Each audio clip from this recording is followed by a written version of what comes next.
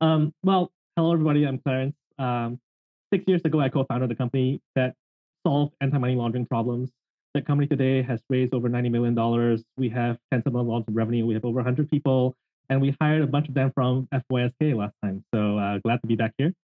Um, through that experience, I saw firsthand how the identity space, the KYC space for individuals has flourished. But really, if you want to know, if you want to know about a business, the only ways for you to do that today is to Google and LinkedIn stock people and companies, right? So a lot of what we're trying to solve at Coverbase is to automatically due diligence businesses and to try to figure out how to build this trust layer for businesses that rely on one another.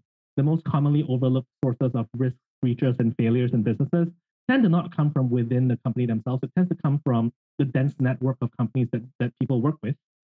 And we are trying to solve that problem of not having visibility and control over these other companies. Today, the company is really young. Uh, we were founded eight weeks ago. We raised a bunch of money uh, four weeks ago, and uh, we already have 150K of committed ARR. We are two people, just me and my co-founder, so you would be coming in at ground zero, literally. Um, we're hiring for four roles. So I, I don't know if you can find an earlier company than this right here. Um, we are hiring for software engineers, really. We're focusing on ML infrastructure and uh, full stack engineers. If you want to be a software engineer that doesn't just sit behind a screen writing code all day, but wants to be involved with building a company from the very, very earliest days, then uh, this is where you should be. So come talk to me. I'll be uh, maybe right here because no one has taken the spot yet, but see you later.